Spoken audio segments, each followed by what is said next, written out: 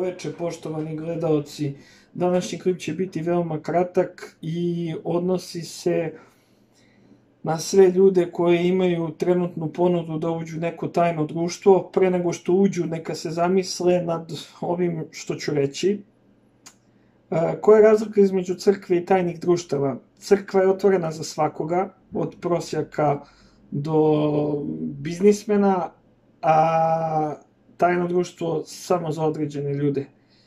Tako da mislite o tome i ostanite na strani Boga. Nemojte da ulazite u stvari za koje niste spremni. To je to.